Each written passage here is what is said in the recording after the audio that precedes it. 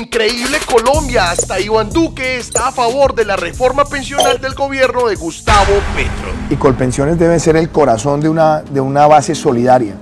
¿Para qué? Para que logremos mejorar la cobertura, sobre todo en el número más grande de pensionados, que son los que tienen pensiones de por debajo de cuatro salarios mínimos que es donde deberíamos estar concentrando los subsidios. Bueno, la verdad es que esto es un discurso del Iván Duque candidato antes de ser presidente. Y vamos a seguir escuchándolo. Porque curiosamente en campaña reconocía que el sistema pensional colombiano debía fortalecer el régimen de pensiones público y que uno de los principios del mismo, como está escrito en la actual reforma pensional apenas en el artículo 4 y como por fin se ve desarrollado en todo el articulado principalmente en los números 17 y 18, debía ser el de la solidaridad para abrigar a nuestros viejos que no tienen el más mínimo ingreso y viven en la pobreza. Por eso es que por nuestros viejos y nuestras viejas decimos, Congreso, aprueben su totalidad la reforma pensional pues. El problema es que como, como se liquida sobre la base los últimos 10 años, quienes más aumentan el ingreso en esos últimos 10 años son las personas de mayor ingreso.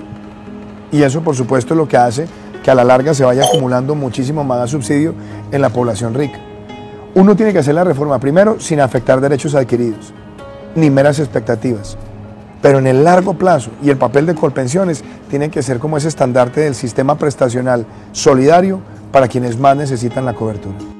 Iván Duque está aceptando que el actual sistema público de colpensiones subsidia sobre todo la jubilación de las personas que reciben pensiones millonarias como Pacho Santos y que eso debe mejorar para utilizar el músculo financiero también y por fin en quienes realmente lo necesitan. Por eso nada más para ponerles un ejemplo de lo que se está construyendo y aprobando en este momento en el Congreso, les voy a mostrar rápidamente en este video cinco grandes puntos con los que la reforma pensional busca transformar el país.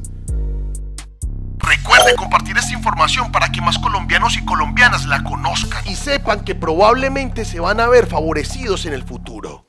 Número 1. Creación del pilar de solidaridad.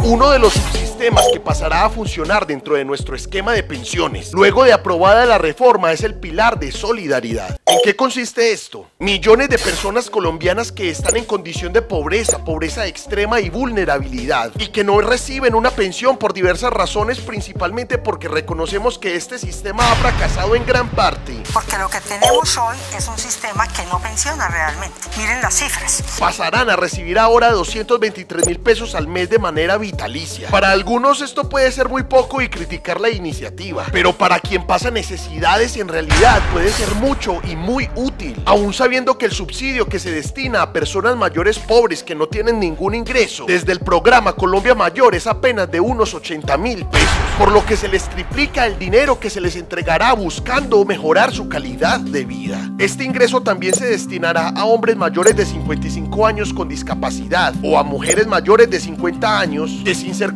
adultos mayores poseen una pérdida de capacidad laboral igual o superior al 50% y no poseen una fuente de ingresos que garantice su vida digna. Número 2. Creación de pilar semicontributivo.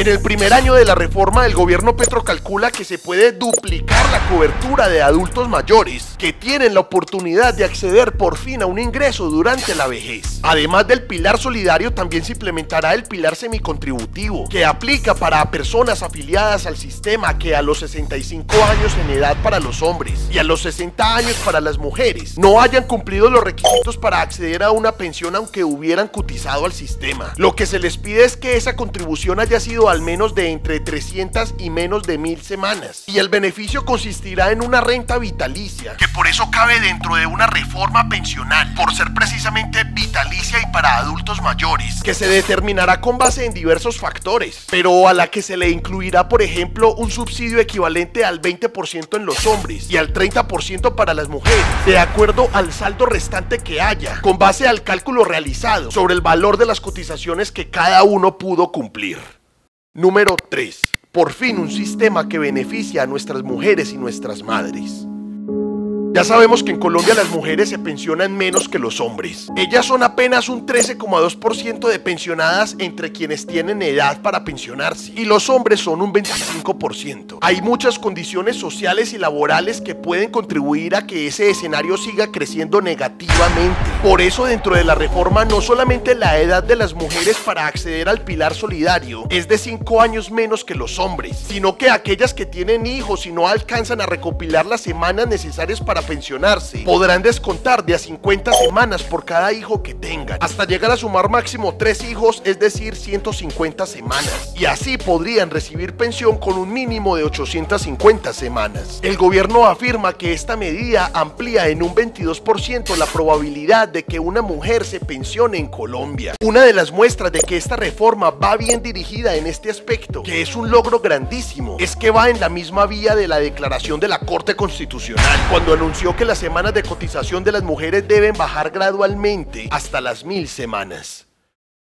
Número 4. El Banco de la República asume un papel protagónico y garantista una garantía de tranquilidad para las y los colombianos e incluso para los políticos de oposición que preguntaban por quién iba a administrar el dinero del mayor porcentaje de los cotizantes de Colombia. Es que ese fondo de ahorros va a ser administrado mayoritariamente por expertos del Banco de la República y en esa medida se están blindando de cierta forma los recursos no solamente en materia de inversión, sino en materia de cómo se va a gastar la plata. Aquí hay que celebrar no únicamente que una entidad descentralizada va a tomar un papel papel protagónico, sino que en la reforma, en el punto 3 del artículo 93, dicen textualmente que la administración del fondo no debe interferir con las funciones misionales del Banco de la República. Y además de eso, se construirá un comité directivo con el fin claro de blindar aún más esos recursos, que será conformado por personas de diferentes sectores, como el Ministerio de Hacienda, de Trabajo, el director del Departamento Nacional de Planeación. También estarán cuatro personas expertas en diferentes temas económicos seleccionadas por la Junta Directiva directiva del Banco de la República, que estarán en un periodo fijo de cinco años con oportunidad de ser reelegidos solo por otro periodo. Y así hay muchos integrantes más. Número 5. Se determinó que esto no puede ser un fortín para cada gobernante.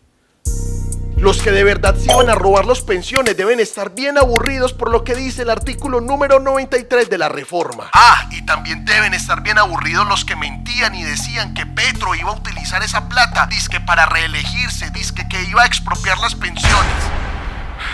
En el artículo 93 de la reforma se habla de cómo las inversiones y la administración del dinero de la gran mayoría de los cotizantes en este país se harán considerando únicamente el interés del fondo de ahorro del pilar contributivo y la política de inversión. Como ya dije, esto se llevará a cabo principalmente por expertos seleccionados por el Banco de la República, que es una entidad descentralizada. Pero aquí lo que hay que dejar claro es que los recursos de los cotizantes no van a quedar sirviendo como plata de bolsillo de los gobiernos de turno para hacer con ellos lo que les dé la gana sino que obligatoria y estrictamente tienen que destinarse para las garantías, pues precisamente del sistema pensional. Lo que están haciendo aquí realmente es que están salvaguardando de la corrupción el dinero de nuestras pensiones, utilizando las entidades descentralizadas del Estado y puntualizando textualmente principios dentro de la reforma para que la utilización de ese dinero no tenga forma de desviarse hacia otro lado. Llegó definitivamente el momento de dignificar la calidad de vida de nuestros viejos y viejas en Colombia. Colombia.